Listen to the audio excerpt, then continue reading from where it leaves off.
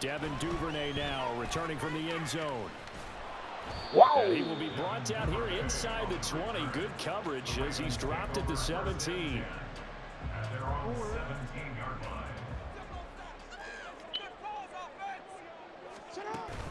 Off the play fake to Dobbins. Here's Jackson. Flushed out right.